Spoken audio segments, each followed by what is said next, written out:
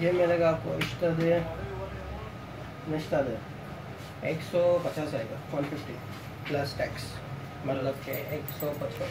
एक सौ पचपन के आ गया था इसके साथ इसके चार प्लग भी चाहिए और एक प्लग के साथ ऊपर जो लगा होता है ना ऑयल कॉइल ऑयल आपको एक सौ चालीस का आएगा और प्लग कौन सा मॉडल कौन सा गाड़ी? हाँ। पैसे दे बारह तो तो प्लग एक।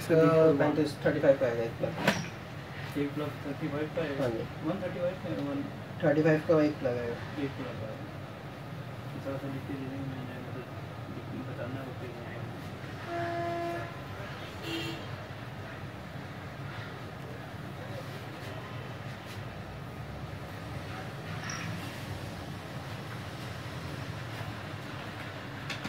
है।